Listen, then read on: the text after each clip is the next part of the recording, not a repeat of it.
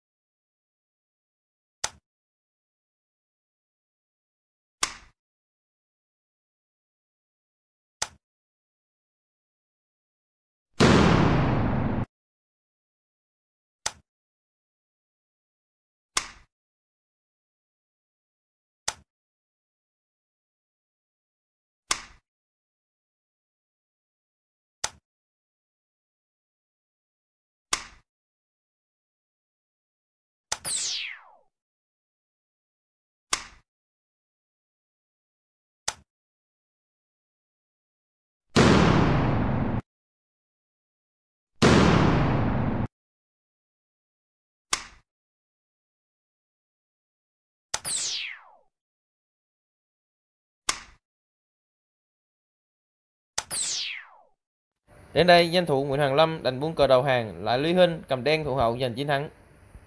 Cảm ơn các bạn đã theo dõi video. Nếu thấy hay hãy nhấn like, share và đăng ký kênh để theo dõi những video mới nhất về cờ tướng đại chiến. Và đừng quên để lại bình luận, góp ý bên dưới video. Các bạn cũng có thể truy cập website cờ tướng đại chiến.com để theo dõi cũng như ủng hộ kênh ngày càng phát triển. Xin chào và hẹn gặp lại các bạn trong video tiếp theo.